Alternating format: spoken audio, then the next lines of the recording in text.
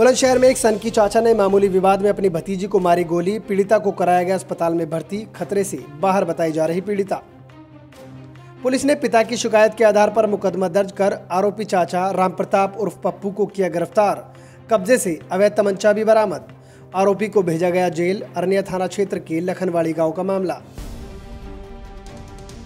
विवाहिता की संदिग्ध परिस्थितियों में मौत, फांसी के फंदे पर झूलता मिला शव। माई के पक्ष ने ससुराली जनों पर लगाया दहेज के लिए हत्या कर शव फंदे पर लटकाए जाने का आरोप। पुलिस और फॉरेंसिक टीम मौके पर पंचायतनामे की कार्रवाई के बाद पोस्टमार्टम को भेजा गया शव।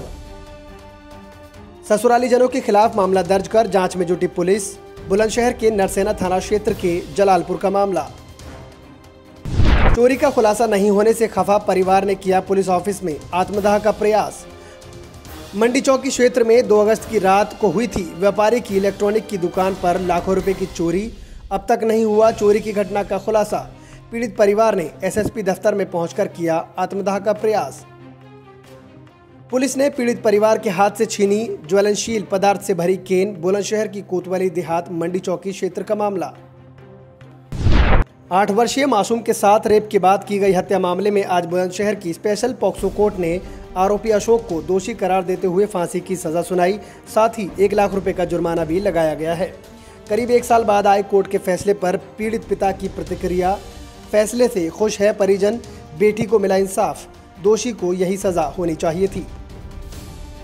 बीते वर्ष 4 अगस्त को आरोपी अशोक ने दिया था नाबालिग के साथ दुष्कर्म और गला दबाकर हत्या की घटना को अंजाम। पॉक्सो कोर्ट की पीठासीन अधिकारी डॉक्टर पल्लवी अग्रवाल ने एक साल की सुनवाई के बाद ये फैसला सुनाया। आरटीओ कार्यालय के बाहर प्रदर्शन कर रहे भारतीय किसान यूनियन महाशक्ति के कार्यकर्ताओं को अधिकारियों ने दिया आश्वासन। ओवरलोड वाहन गड्ढा मुक्त सड़कें, वाहनों से अवैध उगाई जैसे आरोप लगाकर किसानों ने आरटीओ कार्यालय के बाहर किया था प्रदर्शन। अधिकारियों ने कार्रवाई का आश्वासन देकर धरना प्रदर्शन समाप्त कराया। किसानों की चेतावनी दो दिन से पैच। किसानों की चेतावनी दो दिन में मांग पूरी नहीं हुई तो टोल टैक्स फ्री करेंगे। गंगा का जलस्तर बढ़ने से मंडरा रहा बाढ़ का खतरा, स्थानीय लोग बेचैन। गंगा का कटान होने से राजघाट क्षेत्र में बाढ़ आने की संभावना, स्थानीय लोगों ने अधिकारियों से की समाधान करने की मांग। हर्षोल्लास के साथ मनाया गया आज़ादी के अमृत महोत्सव कार्यक्रम माँ सरस्वती और रानी लक्ष्मीबाई के चरणों में किए गए पुष्प अर्पित, दीप जलाकर किया गया शुभारंभ। भारतीय संस्कृति एवं राष्ट्रीय धरोहर को सुरक्षित रखने के लिए नवंबर तक चलेगा ये कार्यक्रम। प्रतिदिन किसी एक स्वतंत्रता संग्राम सेनानी पर विचार रखकर कार्यक्रम को बनाया जाएगा भव्य।